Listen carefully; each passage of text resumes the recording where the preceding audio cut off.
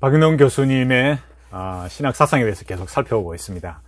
제가 어떤 추측성 말을 하는 것이 아니라 교수님이 기고하신 글또이 책을 통해서 살펴보려고 합니다. 이 시간에는 일그러진 성령의 얼굴에 나오는 책을 가지고 과연 박윤동 교수님의 그 신학 사상이 과연 개혁주의적 어, 사상인가 신학 사상인가를 한번 생각해 보겠습니다.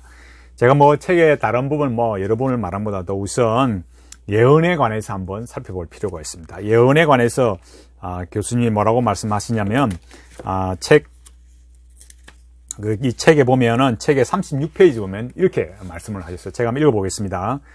고린도 교회에 있었던 예언은 덕을 세우고 건면하기, 건면하며 위로하기 위해 또는 숨은 죄를 드러내기 위해 성령이 마음에 순간적으로 떠오르게 하신 내용을 말한 것이라 할 수 있다.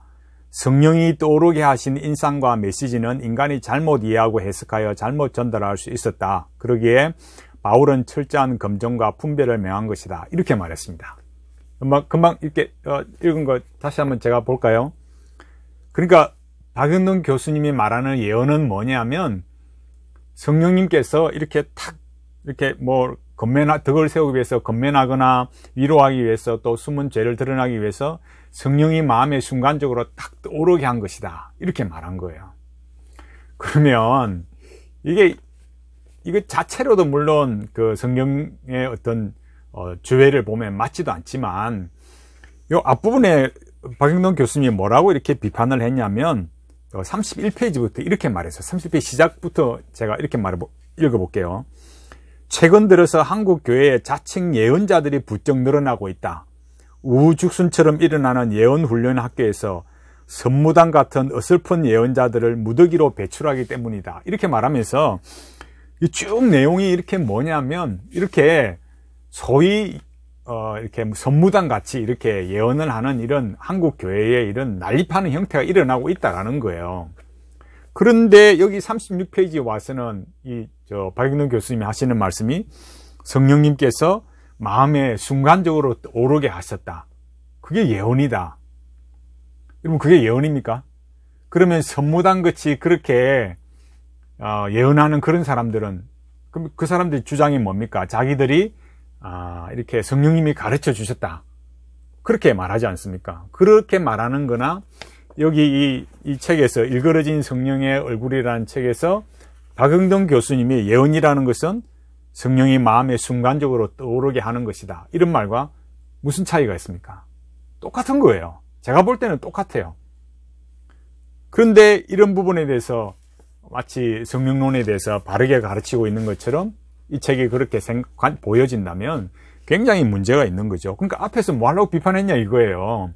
비판할 이유가 없는 거죠. 그 사람들도 성령이 떠오르게 한 거라 생각하는데 어떻게 비판거리가 되겠습니까? 칼빈은 뭐라고 말했을까요? 칼빈은 이렇게 말했어요. 칼빈은 나는 이 용어가 이 용어가 종교와 믿음에 대한 훈련을 우리에게 가르치고 또한 하나님을 경외하며 경외하는 경배와 거룩하고 어려운 생활을 할 수 있는 책임감을 갖도록 우리를 가르치는 교훈을 의미하는 것으로 받아들인다. 이게 바른 해석이 아닌가요? 예언이라는 것이. 예언은 하나님의 말씀이죠.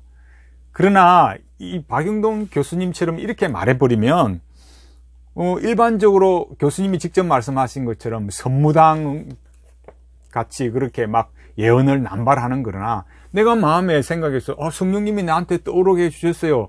이렇게 말하면 그 뭐, 뭐가 차이가 있냐 이거예요. 아무런 차이도 없는 거예요. 그러니까 여기 나오는 이 교수님의 말씀대로 이렇게 말을 하자면 예언은 그냥 누구에게나 다 일어날 수 있는 그런 예언이 되어 버리는 거죠. 제가 먼저 이 부분 말씀드리고 싶어요. 일그러진 성령의 얼굴에서 성경은 이런 방식으로 성령님이 우리 마음에 오르게 마음에 오르게 한 그게 예언이다. 개혁 신앙에서는 그렇게 가르치지 않습니다. 저는 그렇게 배운 적도 없습니다. 그러니까 우리 삶에 있어서 이 기독교 신앙에 있어서 성령론이 굉장히 중요한데 그러니까 이런 방식으로 예언을 말하고 성령론을 말하는 것은 개혁주의적 관점이라고 말할 수 없습니다.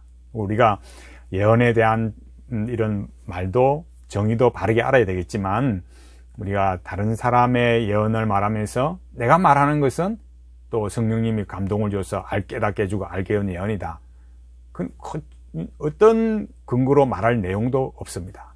그런 까닭에 우리가 성경의 내용을 우리 이전의 신앙의 선배들이 또 하나님께서 사용하신 그 귀한 사역자들 통해서 가르쳐 준 그런 내용들, 성경의 본래의 뜻을 알아서 함께 참고하면서 성경의 말씀을 배워가야 됩니다. 그래서 우리 마음에 떠오르는 것이 마치 예언인 것처럼 그렇게 가르치고 판단해서는 안 되겠습니다. 그래서 우리 박인동 교수님이 말하는 그 신학적 사상에 중요한 내용이 들어가 있는 이 이그러진 성령에 나오는 과연 이 예언이라는 관점, 이런 관점들에 대해서 우리가 좀 진지하게 생각할 필요가 있겠습니다.